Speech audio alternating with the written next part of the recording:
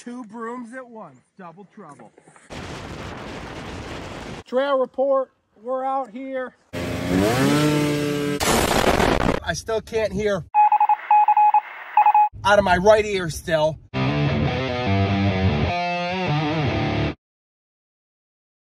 It is currently Friday, January 5th. Uh, Happy New Year's, by the way. Had a great New Year's. It is also most likely the reason that I caught a cold. Crowded space, I wonder why. Had an awesome night, though. It was great to see everybody. I'm going to try my best to not sound like a stuffy idiot this episode. You know what? We just got to go be a man about it. I'm going to go take some quill quick. What's this bottle say? PMs? Just kidding though, guys. Anyways, it has been just crazy with the weather. 40 degrees. I You already heard from my last video, this weather has been the worst start to a season, and I'm 29 years old in my entire life that I can at least remember. Same with the pop, same with everybody. We are just not off to a good start, so we got to make do with what we got. We got all that rain last week. It has been below freezing for five straight days, and the lake still had not frozen over, but luckily um, we had some shoreline. It was just, you know, open patches out towards the middle. And then last night it was single digits and finally covered the lake. Grab this from the shed, putting that in here to warm up for a second because we got the heated shop. Oh, hi, you two. Got the handy dandy axe. Oh, nice and black ice. Okay, that was about three to four inches, somewhere in there. So, enough to walk on. Believe it or not, guys, snow actually insulates the ice and prevents it from freezing as quick as it could. So I'm going to take this blower and blow myself a strip. I'll be danged if I can't rip that triple at least a couple times up and down the shore this weekend. So I'm going to blow off this ice. It's going to take me about 14 hours. And then uh, it's supposed to hit the teens tonight. So hopefully it freezes just enough for, you know, four, maybe even five inches of ice. And uh, we'll rip it tomorrow. Probably going to take me a while.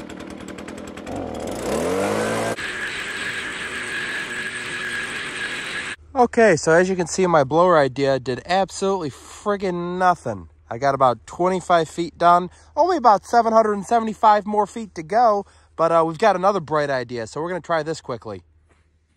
Two brooms at once, double trouble.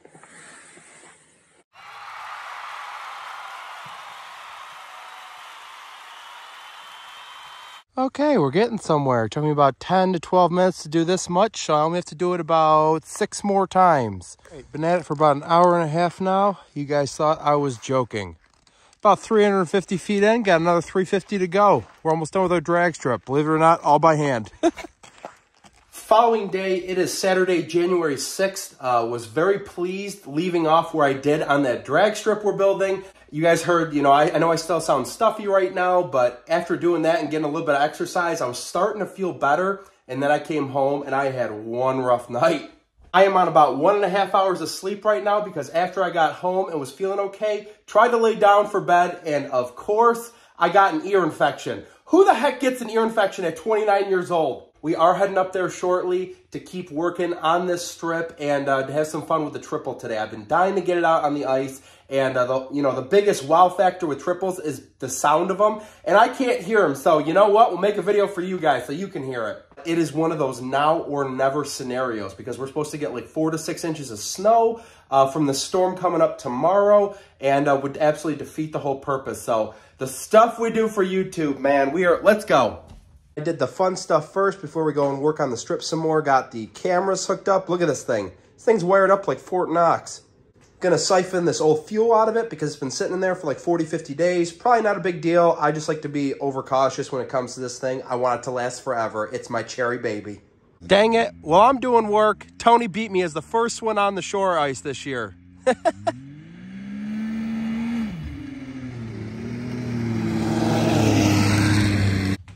And just like that, that's all it took. Nope, I don't even care anymore. Let's go ride the sled.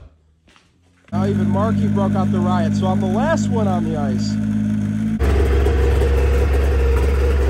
Second pull, not too bad.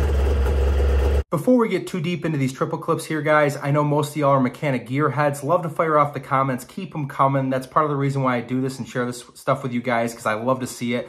Um, but yes, though, I do know that there was a clutching issue going on this day. It just surfaced. The day that I brought it out in the ice. Um, as I edit this video, it's about a week after these clips were taken, and I made the camera show the tach specifically to show what I'm talking about here, but you are gonna see that it's over revving a little bit, and each pass, it got the RPMs got progressively higher and higher, so something was going on in the primary clutch, no big deal. Over this last week, we've already diagnosed it. What we've decided is we're gonna be putting the stock primary clutch back on the sled. We know how to work on it easier, but uh, nothing crazy here. Next time you see this sled, it's gonna be running absolutely perfect, and let's get into it.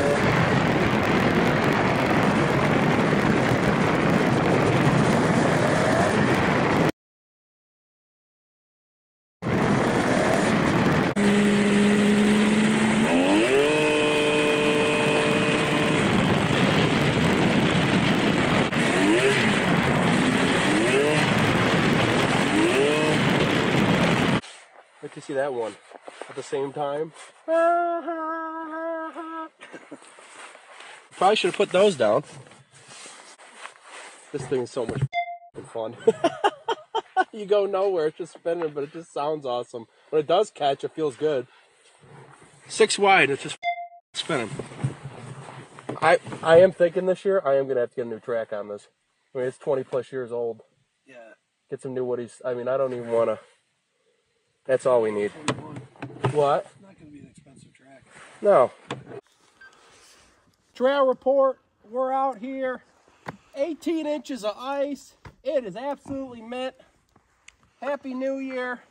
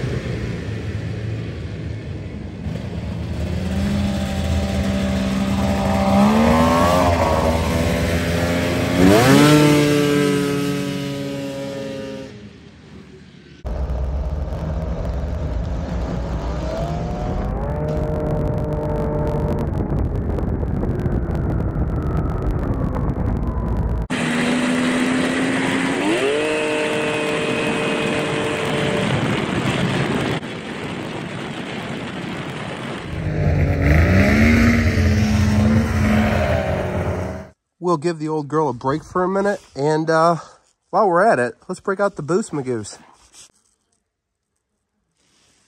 I know it's probably coming in all flashy, but that screen never gets old for me.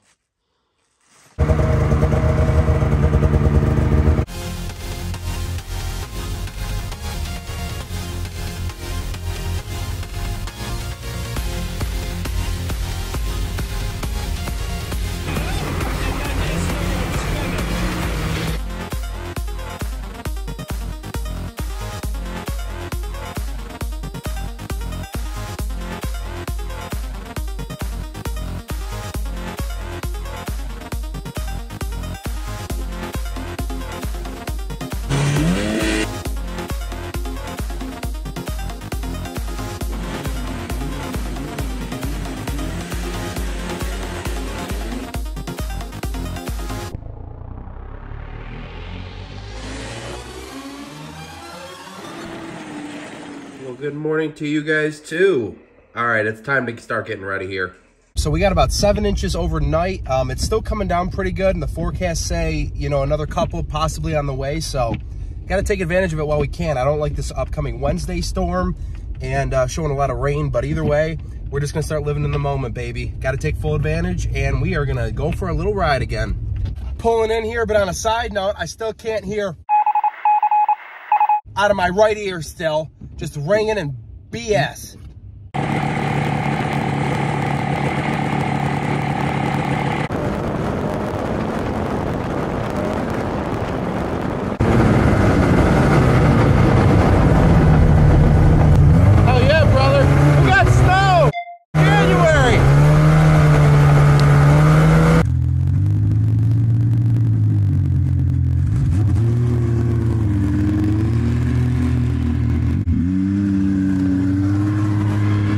always waiting for me to turn on my gizmos. God darn it.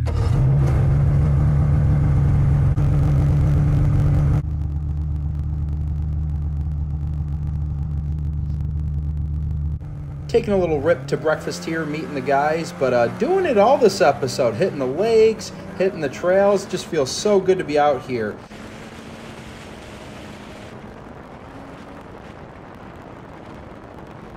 Just want you guys to know that I have really been listening to your comments truthfully, and uh, this has been a really good trial and error time for this new camera setup that I've been running. I'm really digging it, um, but more specifically right now, talking about the audio setup that I've got running. So I've been, you know, playing around with different modes. What I've come to find out is stereo mode, which is seen in these riding clips, as well as direction focus, does a really good job of picking up like the talking and the voices, but it does a terrible job of picking up way too much wind and static noise. So uh, this is just hang in there. This is going to be the last video that you see without the wind reduction mode being on. I really want to get back into the regular swing of things like last year, more in the moment stuff, uh, what's happening right then and there, and letting the sleds speak for themselves a little bit getting everything tightened up and dialed in, baby. Let the snow fall. Audio nonsense or not, the show must go on, and we are ripping.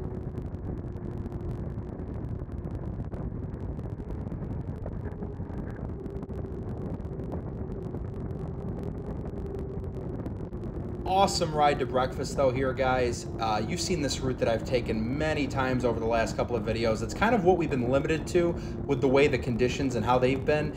But uh, we got about seven to eight inches of fresh snow overnight. That's a good thing no matter how you look at it. But uh, our buddies that we met to this breakfast spot here took the inner trails and said it was quite rocky and they were scraping a little bit to be expected though you know they didn't say that it was absolutely terrible but when you get fresh snowfall you need well over a foot when you have zero base to not scratch. But either way we had an awesome breakfast and just feels so good to be on this sled no matter where we're going.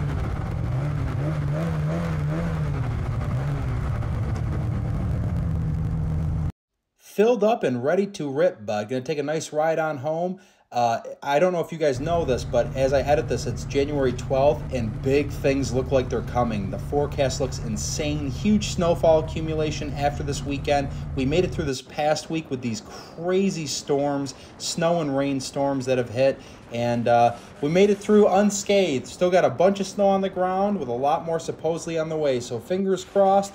Do the dance. Going to show you guys a little bit more of this ride home, and then we are back in business, baby.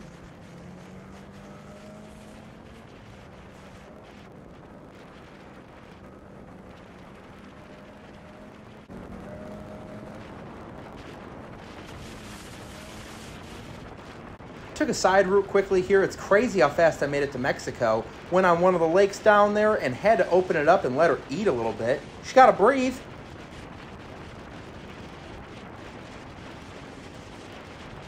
What an awesome weekend, though, guys. Did a little bit of it all. Hit the lakes, hit a little bit of riding in today. No complaints here. Rode both sleds, running good, feeling good. Well, I feel like death right now, but that's how I'm going to take this week get over the sickness, and we're going to be right back at it. So, as always, hit that like button, hit that subscribe button. Don't know what's coming up next, but we'll have something cool. So, we'll see you next video. Whee!